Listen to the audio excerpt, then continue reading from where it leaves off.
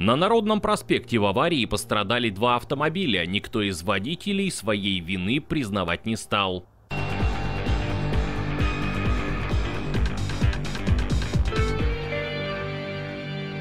Столкновение произошло в районе 29-го дома по Народному проспекту. Автомобиль Toyota Prius двигался в сторону кольца Третий рабочий. За рулем гибрида находилась девушка. Как она рассказала, ей навстречу двигался Toyota Allion. Водитель седана неожиданно решил повернуть налево.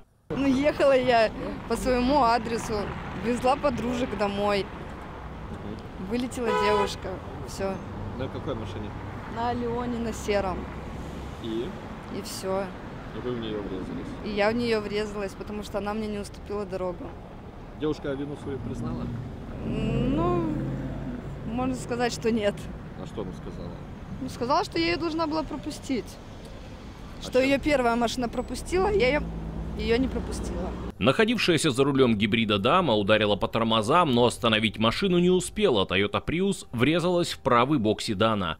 От удара тот по инерции пролетел несколько метров и остановился на обочине. Находившаяся за рулем Toyota Allion дама от каких-либо комментариев отказалась.